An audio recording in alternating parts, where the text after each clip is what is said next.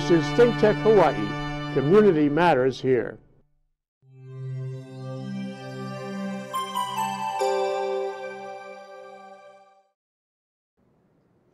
Good afternoon and welcome to ThinkTech Hawaii. I'm your host Ethan Allen here on ThinkTech Hawaii and with me today in the studio is Dr. Sonia Rowley.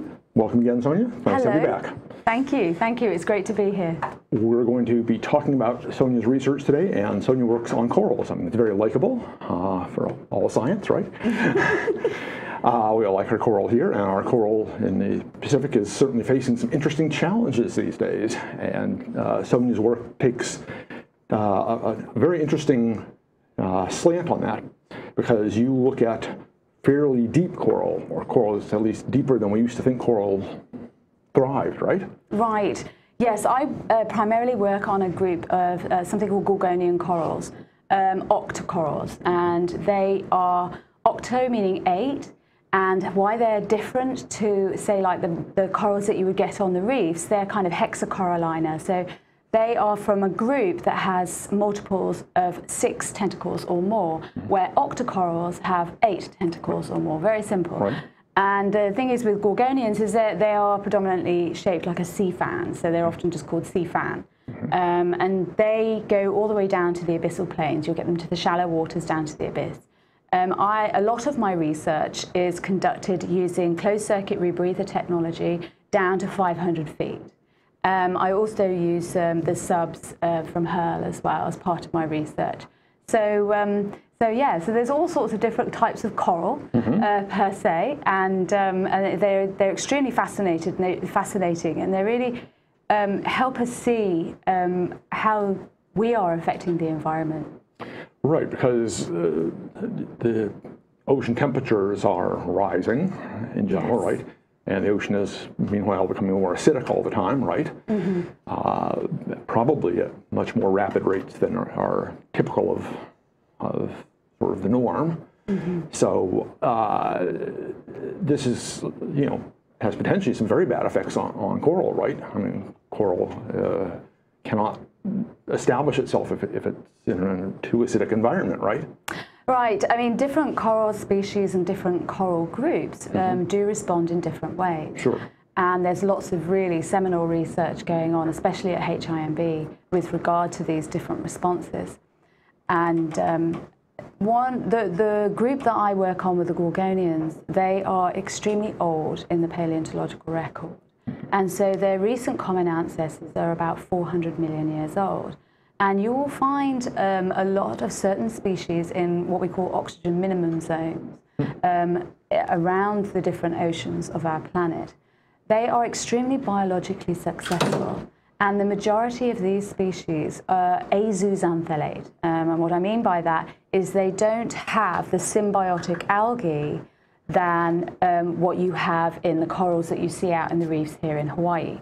Now, you do have species that do have zooxanthellae, um, but the, the, a lot of them do not. And those are the ones that you have at depth because, of course, you're going past the euphotic zone, Right. past the level of photosynthesis. Right. There's no point, no point in keeping algae with you if there's no light, right? Well, yeah, this is true. Excellent. Um, and you've, you've been doing some work around the island of Pohnpei, yes. I, I gather. And uh, why don't we jump into to sort of talking about what, what you sort of what you went there to find and then what you began to see. Yes, absolutely. So Ponape, just to uh, so people can know where Ponape is, um, it's uh, it's very much in the Pacific, Right. and. Uh, uh, it's um, it's in Micronesia, and Micronesia covers three million square mile square miles in between Hawaii and the Philippines. So there's some very, very interesting distributions of animals within themselves within Micronesia because essentially you've only got like 430 square miles actually of land. All the rest is ocean. So it's like, well, you've got to look at a whole bunch of different things. So like how are they so biologically successful? How do they get from one to the next island and atoll? Lots of questions. Very, very exciting. People, you, you can find end, endemism, where species will only live on a particular location or a particular region. There's a lot of that here in Hawaii. So Ponape is very, very interesting for that. And Um, the islands I particularly work on, um, which should be we, we, can see shortly, are the it's Ponape Island and its sister atolls and and Pakin. And, uh, and that should be in a figure very soon. And, uh, and this is part of the Caroline Islands. And so the, the thing is with Micronesia is you've got islands and they're grouped into next islands. There's a hierarchy in essence. Uh, so you've got the Caroline Islands and then the Ponape, which is an island, and then its two sister atolls, Pakin and, and um, Ant, are the uh, Senyavin Islands, which are uh, named after a Russian. Um, and so this is the research that I wanted to come and talk to you about today because uh, um, I've been there for a few years now and conducting some very interesting research, um, mainly on my interest of the Gorgonians mm -hmm. and mm-hmm. collaborating with other researchers in different regions. Mm -hmm.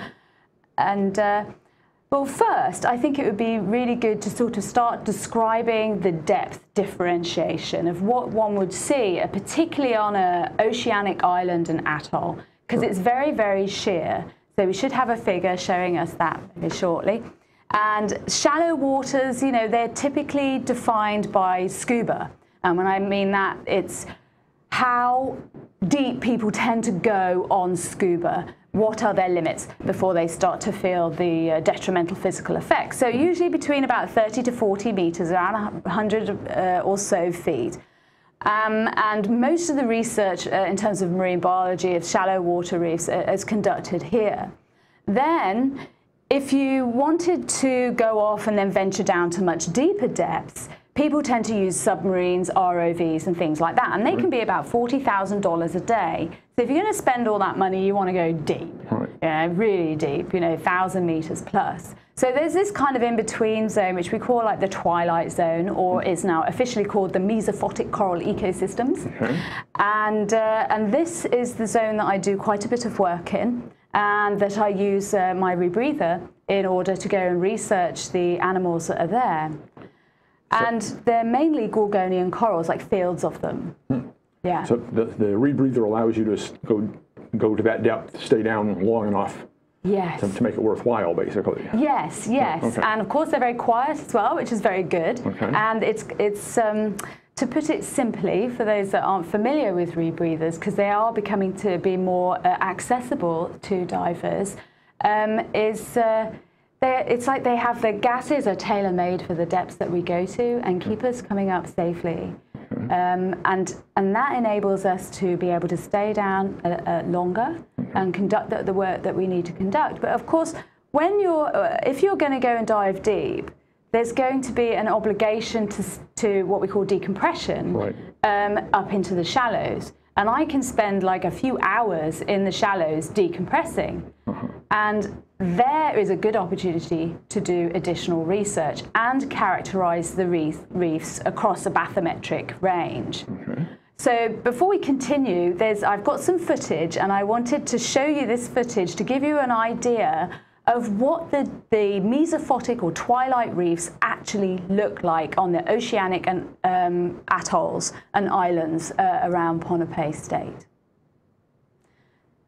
Yes. So here, those are the uh, indigenous people of Pakin who are very generous, and there's the atoll. Mm-hmm. Uh, it's a stunning, stunning place. They had never seen a drone before. They called it a little helicopter. Uh-huh. and to see their faces having a whole new like, perspective of where they live was quite priceless. Yeah, they, that's right. They would never have seen this stuff. Quite. Yeah. Quite exactly. Um, yeah, it was wonderful. And there's Manta rays, a good friend of mine, Julie Hartup, who's the uh, president and director of the Micronesian Conservation Coalition, and doing some work with her in Yap. And, and she studies these animals, and uh, yeah, magnificent, yeah. wonderful things. Yeah. So here are the Gorgonians that I was referring to earlier. And as you can see, they're, they're, they can, they're like trees in many ways. And we're just descending down. Uh, this is Ant Atoll, uh, which has only got about eight people, I think, living on it. Mm. This is about 140 meters. And watch for the shark. There we go. I was planning to go in that cave. you decided not to. I changed my mind. Yeah, absolutely. And in the background there is uh, Brian Greene and Dr. Richard Pyle, and they're catching uh, new species of fish to science. Mm -hmm. And here's some more of the Gorgonians down. We're 148 going down to 150 meters now. And, uh, and so you get some very unique corals, very different, and it's a very different environment. And this is a very uh, popular aquarium fish that uh, people like very, very much. And you can find them in crevices, and you actually find like huge schools of them uh, further down, further deep, deeper on Pakin. Um, here you can see the fields and the diversity of the Gorgonians. There's a lot of different shapes and sizes, um, but it just goes on and on and on. And so this is my primary area of research. So that's what, what you were saying. They're actually very successful, although people don't see them because Out of sight, right, out yeah, of mind. right, exactly, Yeah. exactly. Yeah. Excellent. And so uh, these corals thrive, you say, without their little algal partners, mm-hmm, basically, in mm-hmm, general. Mm-hmm. And so that's sort of an interesting twist. We always think of corals as being this symbiotic partnership, but obviously it's a, not a requirement then. Well, no, actually, the vast majority of coral taxa, coral species, are actually azooxanthellate and found below 50 meters depth. Okay. Yeah. So um, 64% of the coral species um, are actually actually from the Octocorallia, and only 14% of corals are actually scleractinians, which are the hard corals that, that, that form reefs. That doesn't make them any less important. Right. It just means that there's a huge proportion of biodiversity that is much deeper, and it's it's very indeed. yeah, it's very telling. You know, it's like the big animals and the shallow and in your face animals, everybody wants to know Right. all about, of course. But it's very similar with microbiology, um, which is, is fascinating and, um, and lends further to some of my research that I'm doing with the Gorgonians. Um, people know less deeper and less smaller the animal is. Right, right. Yeah, or the organism. Right, less people know about it, less people tend to care about it. yeah, yeah, but they they're often um, like the impact of the the uh, the, the microbial uh, communities within an animal or Right. on an animal is is integral and fundamental to its existence. Right, right. We have, what, 10 times as many cells that aren't our own within us and on us as we have of our own. I know. People don't like to think, hear that. They don't like to think about that. well, only if they're against us, but most of them are our friends. right. indeed, indeed, right. Yeah. So, um, during during this work, as you were you were both looking at your own Gorgonians and also sort of characterizing the, the different uh, assemblages at different depths, Mm. you also did this over several years, right? Yeah. And that's uh, one of those years was right during a big uh, El Nino event, right? Yes, it was.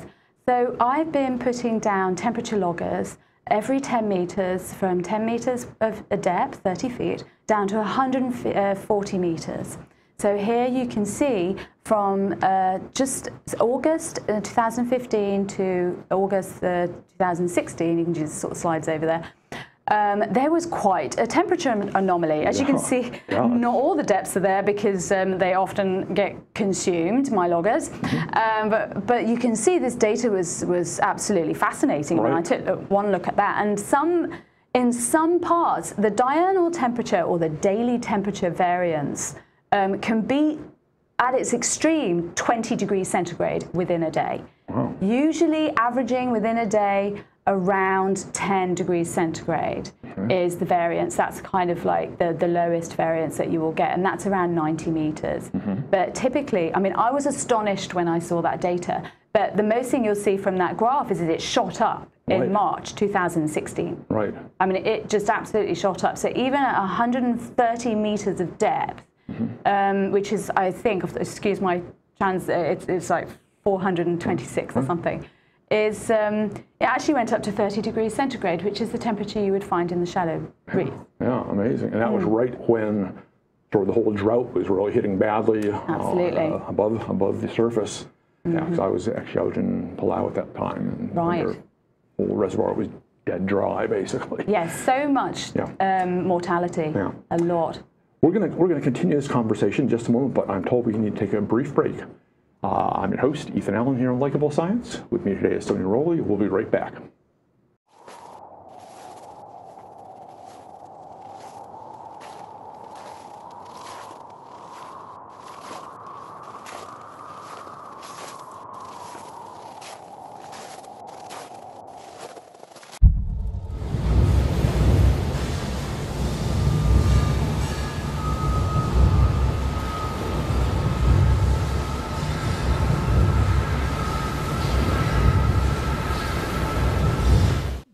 Afternoon. My name is Howard Wiig. I am the proud host of Code Green, a program on ThinkTech Hawaii.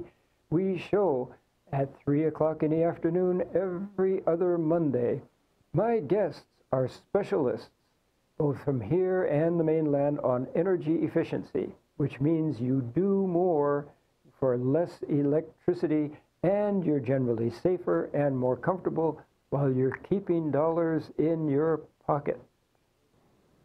Welcome back here to Likable Science on ThinkTech Hawaii. I'm your host, Ethan Allen. With me today in the studio is Dr. Sonia Rowley. She studies Gorgonian corals, uh, or maybe just more properly Gorgonians, I guess.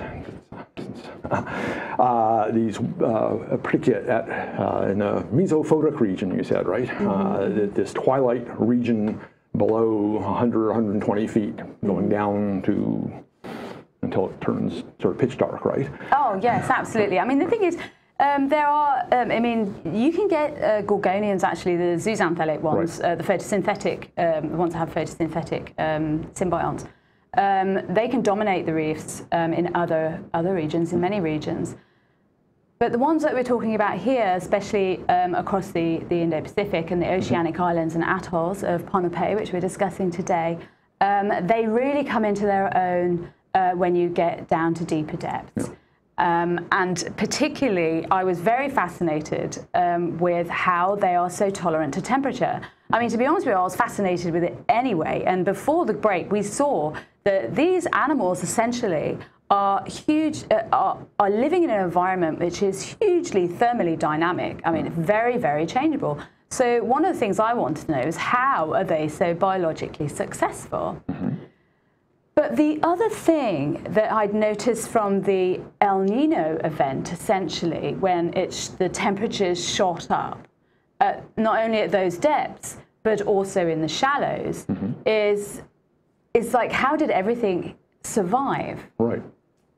And from 2006, the shallow reefs were just stunning, and, um, and particularly on the, on the atolls.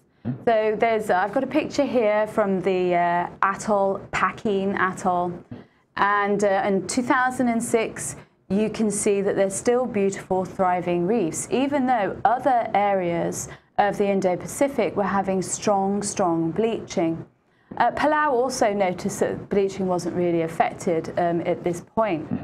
However, when we returned the following year, this year, the reefs were just dead. So even though they're a very pretty pink, basically they were covered with crustose coralline algae. And when you just nick off a little bit from the branches, this is Isopora palifera, and when you, you break that off, um, it's very th thin, but the, the crustose coralline algae, I mean, it grew that fast. It was actually growing over the halimeda, which is another algae. Mm. You know, I mean, it was just, it was remarkable that the, the whole reefs was like this pink mortuary. Mm. Uh, I mean, it was, uh, I, I, was quite shocked actually because I got some coral researchers coming over, uh, from AIMS and to research on the corals, and I was like, um, right. um, yeah, I mean, fortunately, we did find some new species to science at depth, which was good um, it's still, I mean, it's low hanging fruit at depth. Right. Uh, for that. So, so, what's the prognosis for that? I mean, that shallower reef when it's. Mm. Well, it's it's very very difficult. Um, the good thing is that um, you know larval settlement favors crustose coralline algae, but in other other reefs they did not fare so well. Um, and you know, I wanted to sort of, uh, we have some images that can and show basically what happened there, what was happening with the other reefs. Um, now, this is also what's happening at depth. So 2016, um, you can see at 30 meters, um, actually down to, to 60, you would see this band of um, filamentous cyanobacteria. And that, I was actually running experiments at the time, uh, which we have time we can talk about afterwards, but I was quite uh, astonished. I, all my experiments were just completely smothered. Uh, but you didn't see a signature of this in the shallows in 2016, you just saw gorgeous reefs. Mm -hmm.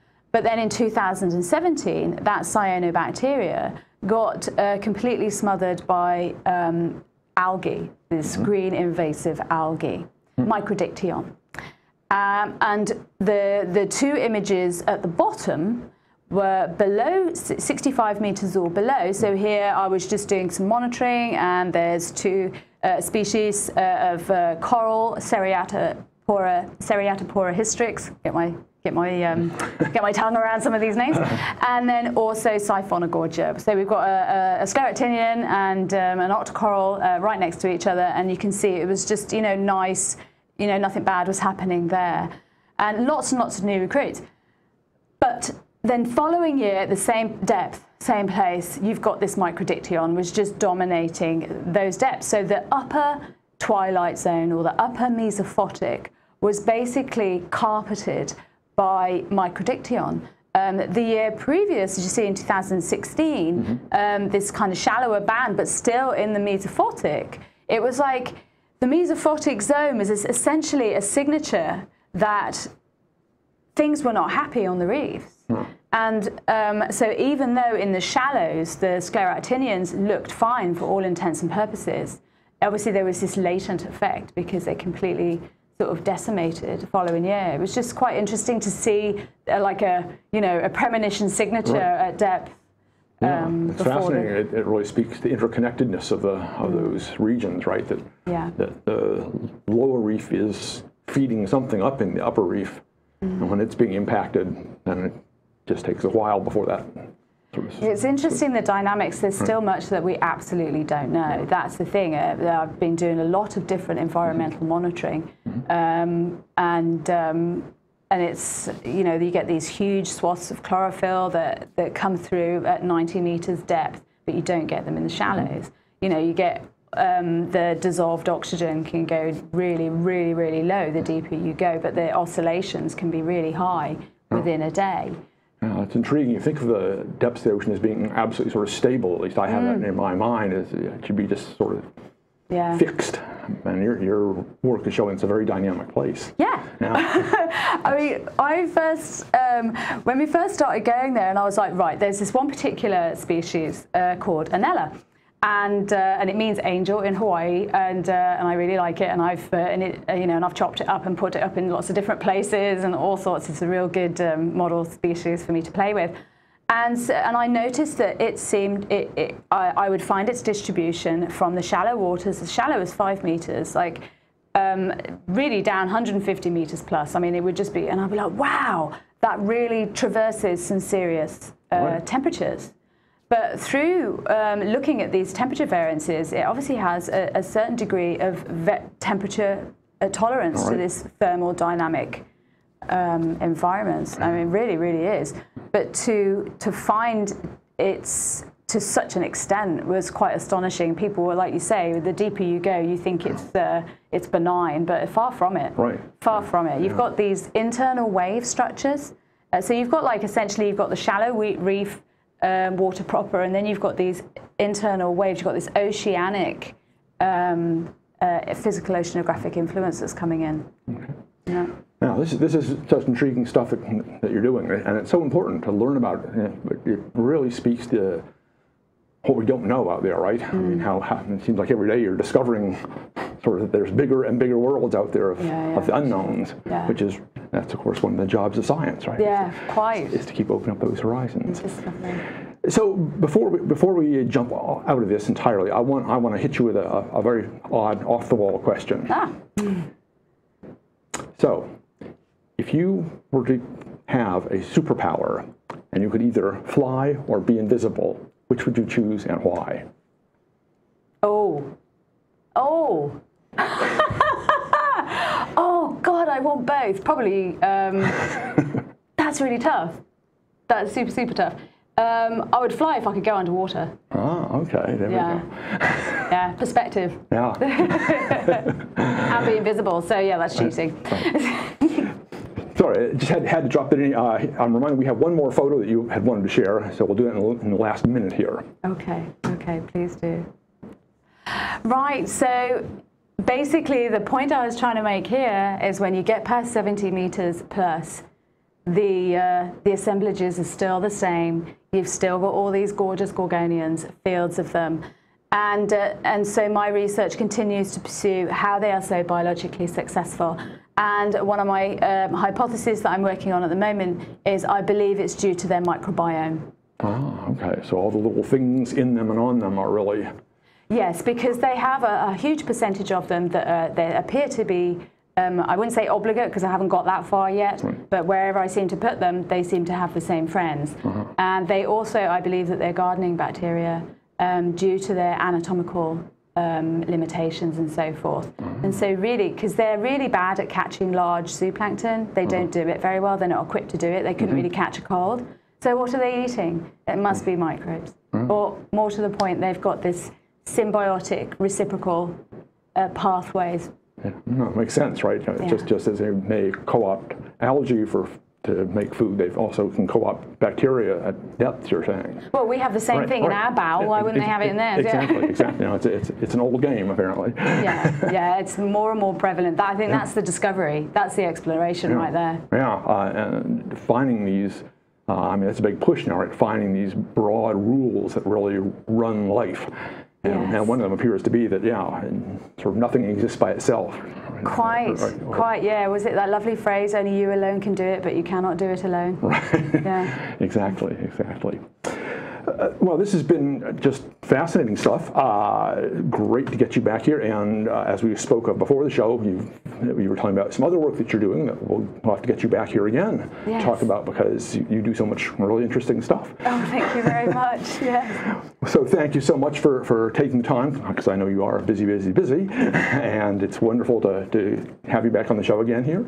Thank you so much. And uh, we look forward to getting you back yet again. Oh, well, thank you. It's a pleasure to be here. Thank you. And we hope uh, you'll come back next week and be with us on, for another episode of Likable Science here on Think Tech Hawaii. Until then.